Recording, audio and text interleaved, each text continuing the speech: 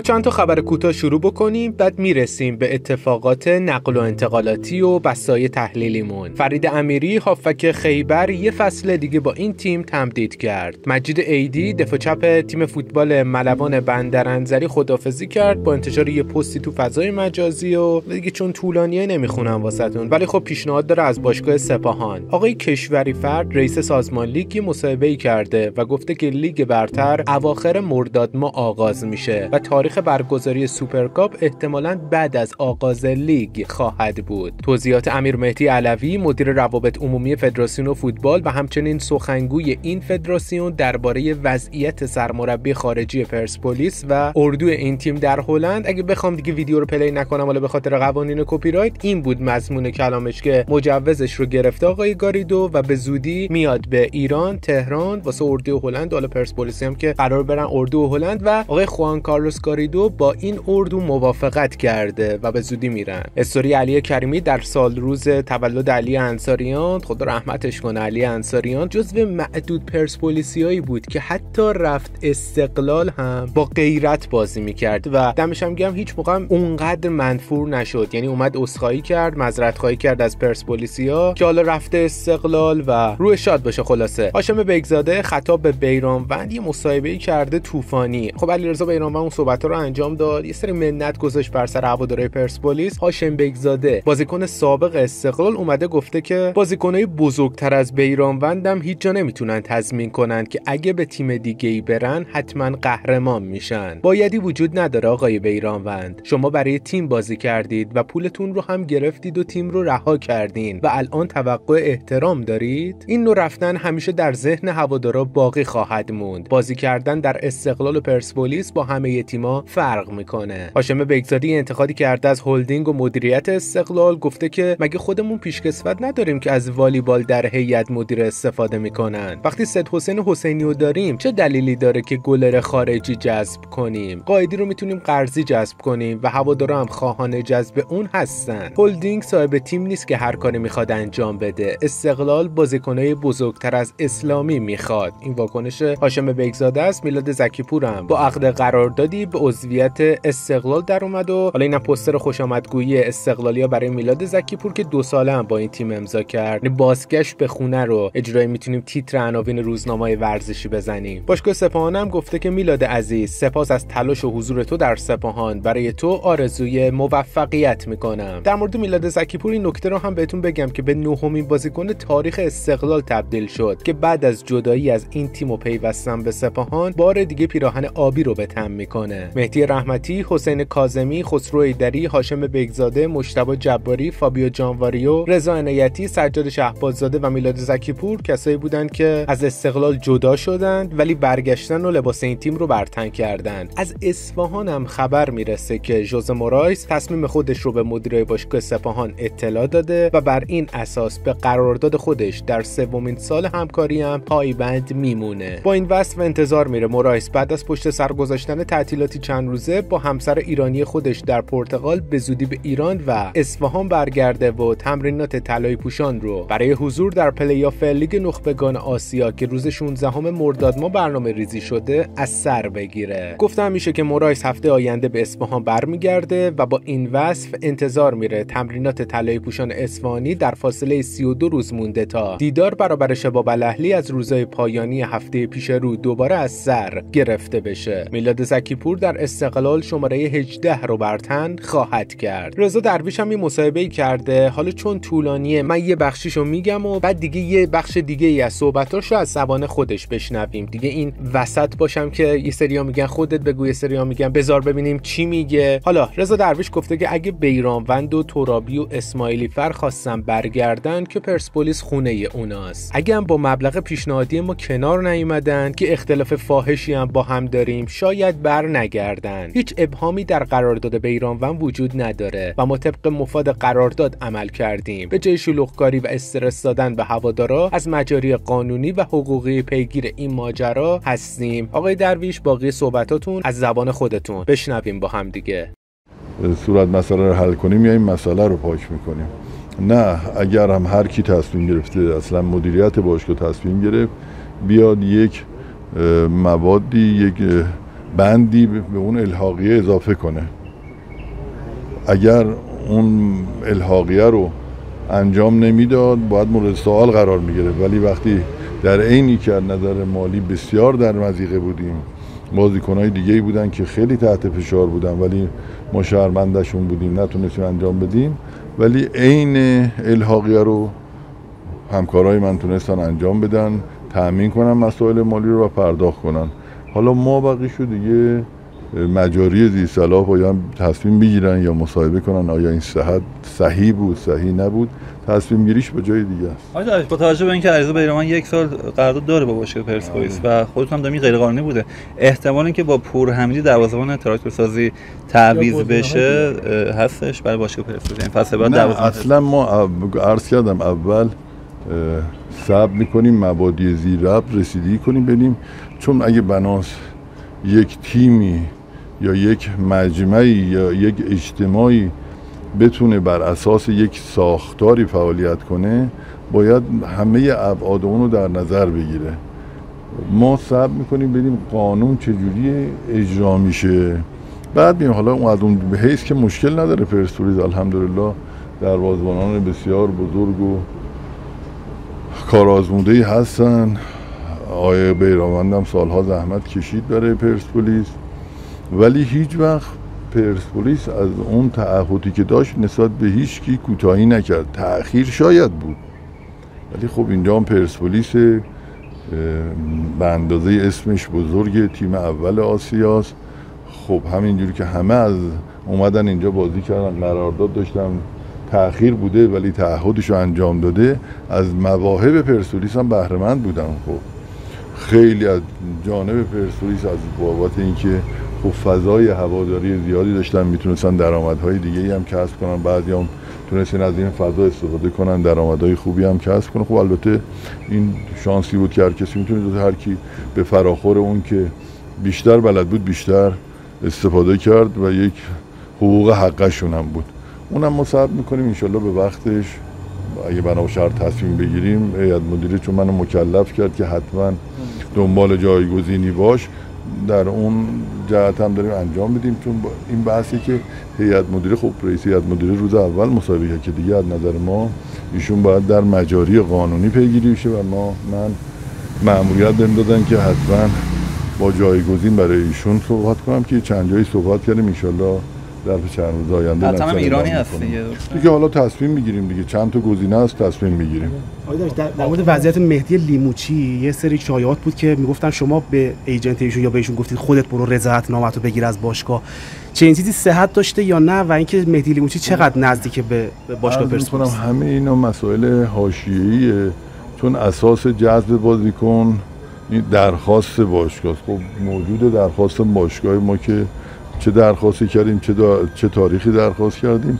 همه اینا موجوده اینا یه حرفای آشیهی زیاد دادن به اینا نپردازه به نظر من بهتره. در مورد وضعیت گاریدو هم میفرمایید. بلیت گرفته باشگاه براش ظاهرا فکر می‌کنم انشالله داریم باش هماهنگ می‌کنیم که مثلا اگه بشه اوایل هفته بیان حالا بحث سر اینه که ایشون مثلا یه زمانی بیاد که اینجا امکانات پرسپولیس رو ببینه محیط رو ببینه نوع کارش رو ببینه برگرده یا اینکه اصلا بیان که بمونن دیگه. تو این داریم بحث می‌کنیم که انشالله به نتیجه برسه در اردو هلند هم بفرمایید. دیگه اون برنامه ریزی شد و انشالله فکر می‌کنم دو مرداد انجام میشه دارن کاراشو بازیکن انجام میدن. من خیلی الان می‌دونن که دیگه شاید برای پرسپولیس تموم شده باشه. اما یه حرفی دیروز تو مصاحبه زد خیلی از هوادار پرسپولیس دلنگرانن. گفتش که پرسپولیس آروم آروم قرار ضعیف بشه و این تیم اصلا بپاشه. آیا این حرف شما تایید می‌کنید یعنی بر چه خب، مبنا این حرف زده شده؟ دیگه بعد از اونی که من معتقدم این مصاحبه من می‌کنم اگه سوال برانگیز باشه بیان از من بپرسن آقا این جوابی که شما بر اساس چی دادی؟ خب باید شاخص و معیارهای ایشون رو از ایشون پرسید که کیل و اون ترازو ایشون که سبک سنگین می‌کنه یه تیمو در چه ابعادیه ایشون حتما یه توجیه داره واسه این حرفش. از ایشون بپرسید ایشون می‌تونن بهتر پاسخگو باشه. خیلی مرسی. مشخص شده؟ قبل لیگ بعد نه اینجوری که اعلام کردن به ما هر وقت زمان لیگ رو اعلام کنن یه هفته قبل از اون بناس برگزار بشه. رضا درویش هم گفته که احتمالا گاریدو اوایل هفته آینده به ایران بیاد. با اعلام درویش تیم پرسپولیس جهت برپایی اردو دوم مرداد ماه راهی هلند میشه. یحیی گل محمدی هم میگن که به طور شخصی با سعید صادقی صحبت کرده و از هافک پرسپولیس خواسته که به تیم فولاد بیاد. باشگاه استقلال هم قصد داره ودران کیوسفسکی دروازه‌بان بوسنیایی جدید خودش رو به یکی از تیمای ایرانی بفروشه. مبلغ قرارداد اون با استقلال برای سال اول 11 میلیارد تومن. آخه چه اجباری بود که شما یه گلر خارجی بگیری بعد بفروشی؟ ما که از همون روز اول گفتیم و یه سری از هواداری استقلال تو همین کانال هم اومدن گفتن آی به تو چه ربطی داره؟ حالا صلاح دونستن که بگیرن. پاشو گرفتی حالا بفروشید جدای مهدی قائدی از شباب الاهلی قطعی شد و حالا دیگه شایعات حضور مهدی قائدی در تیم فوتبال استقلال بیشتر از قبلم شنیده میشه و استقلالی ها می‌خوان هر طور که هست به صورت قرضی دائمی هر چی جذبش کنن مهدی قائدی واقعا با کلاس فوتبال بازی می‌کنه مهدی قائدی سرمربی جدید تراکتورم قطعا خارجی خواهد بود. خبرگزاری طرفداری گفته که جواد نکونام به هلدینگ خلیج فارس تاکید کرده که سامان فلاح برای تقویت خط دفاعی استقلال جذب بشه. منتخب گرونترین بازیکنهای لیگ ایران ترکیب 17 میلیون یورویی یعنی ببینید علیرضا به تو دروازه است اینو فوتبالی کار کرده. کوین یامگا راست کنعانی وسط به همراه سامان فلاح چپ امید نورافکن می‌زنه.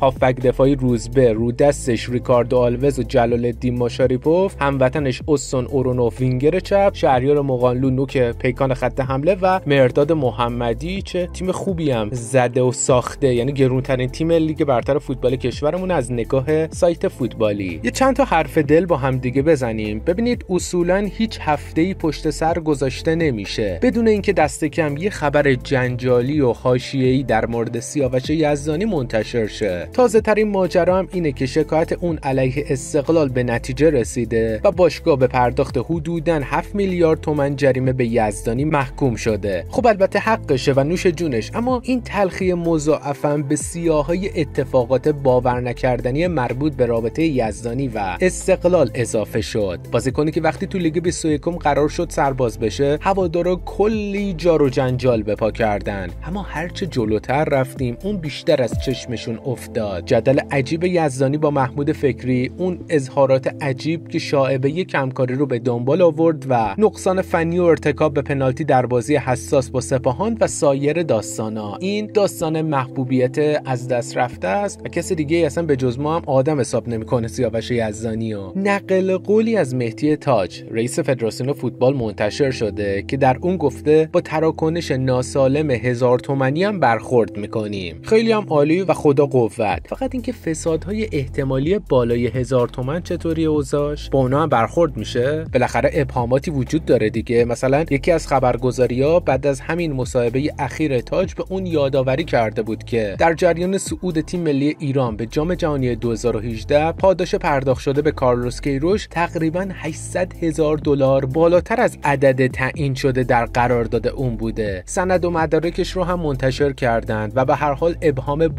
بزرگیه که میلیاردها تومن ارزش داره. آیا نباید رفع بشه؟ امیدواریم فدراسیون برای اثبات حسن نیت اتفاقا از همین نقطه شروع بکنه. شاید اصلا دفاع موجهی داشتن ها؟ این اواخر شایعات درست و غلط زیادی در مورد بازگشت برخی بازیکنهای قدیمی به استقلال مطرح شده که در نوع خودش جالبه. طوری که اگه بخشی از این حرفها هم درست باشه باید شاهد تشکیل دوباره استقلال قدیم در لیگ 24 باشیم. حتی در پنجره زمستونی قبلی هم زمزمه هایی در مورد بازگشت فرشید اسماعیلی و فرشید باقری به استقلال به گوش می رسید دو بازیکنی که گویا اصلا جذب استون اورونوف به خاطر اونا منتفی شد. حالا میگن از بین این دو نفر شاید فرشید باقری دوباره آبی پوش بشه. هرچند خود اون در پایان فصل مدعی شد. تنها در شرایطی به استقلال برمیگرده که یه تیم قوی بسته بشه. همزمان اخبار رسمی از بازگشت میلاد زکیپور به استقلال حکایت داره. بال چپ سابق آبیا که فصل گذشته رو در سپاهان توپ زد. در حالی جذب زکیپور نهایی شده که استقلالیا به تازگی تو اون پست قرارداد ابوالفضل جلالی رو تمدید کردن. هرچند گفته میشه شاید این بازیکن سرباز بشه و به ملوان بره. دیگر بازیکن سپاهانم که اخبار جست گریخته در مورد احتمال حضورش در سپاهان مطرح میشه محمد دانشگره. در عجیب ترین مورد اما طی روزهای گذشته گفته شد باشگاه نسبت به جذب داریوش شجاعیانم بیمیل نیست. هافک 32 ساله‌ای که دوران نچندان موفقی در استقلال داشت و فصل گذشته برای هوادار توپ زد. شایعه عجیب جذب شجاعیان که گویا تکذیب هم شده. داستان بازگشت نافرجام میلاد فخرالدینی در زمستون گذشته رو در اذهان عمومی تداعی می‌کنه. اگه واقعا تو این زمینه جدی هستین بد نیست. به جذب دوباره بازیکنی مثل مرتضی تبریزی آرش افشین و بختیار رحمانی هم فکر کنید و اتفاقا خوب گفت هاشم بیگزاده گفت من نمی‌فهمم این وضعیت هلدینگ چجوریه. یعنی نشون الان اومدن بانک شهر و این داستان اسپان کنسرسیوم و فلان و اینا. هلدینگ خلیج فارس هیچ کمکی به استقلال پرسپولیس نکرده. ما انقدر خوشحال بودیم آی اتفاقات ویژه‌ای قرار بیفته. همونطور که می‌دونید بلافاصله بعد از پایان لیگ 23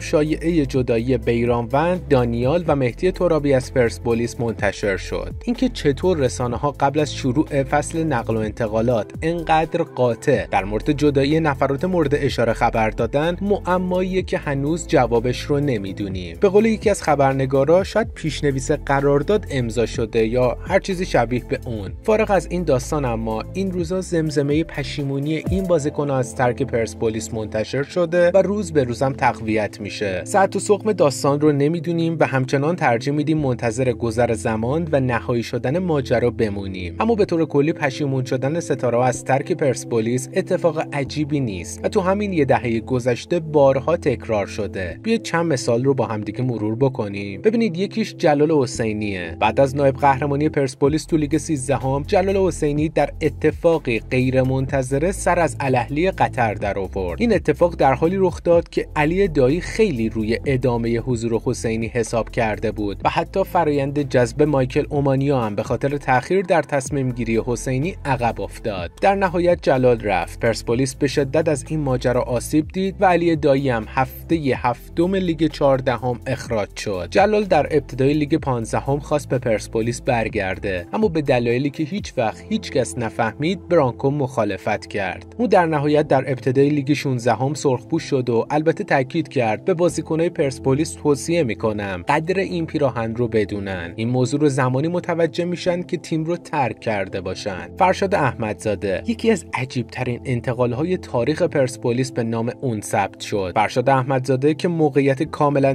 تثبیت شده ای در نسل درخشان این تیم داشت و بقیه بازیکنها هم اونو پسر برانکو صدا می‌زدن ناگهان تصمیم گرفت به لیگ محجور لهستان بره و برای تیم شلاسک ورتسواف بازی بکنه. کل این ماجرا عجیب بود و شگفت انگیزتر اینکه احمدزاده این تصمیم رو همزمان با محرومیت باشگاه از جذب بازیکن جدید گرفت. فرشاد با اون کارش عملا به دوران حضور خودش در پرسپولیس پایان داد. بعدا پشیمون شد و در ابتدای لیگ 19 هم برگشت اما دیگه جایگاه سابق رو پیدا نکرد و بین دو نیم فصل به شکلی مبهم از تیم جدا شد. تارمی و رضاییان. این یه فاجعه کامل بود. در پایان لیگ 15 هم و در شرایطی که انتظار می‌رفت هر دو بازیکن در جمع سرخپوشان موندگار بشن اونا احتمالا با ابتکار رامین رضاییان راهی ترکیه شدن و به شکلی ناگهانی با ریزسپور قرارداد بستن. خیلی زود اما هر دو نفر پشیمون شدن. تارمی به سرعت برگشت و قرارداد جدیدی بست بدون اینکه اونجا فسخ کرده باشه.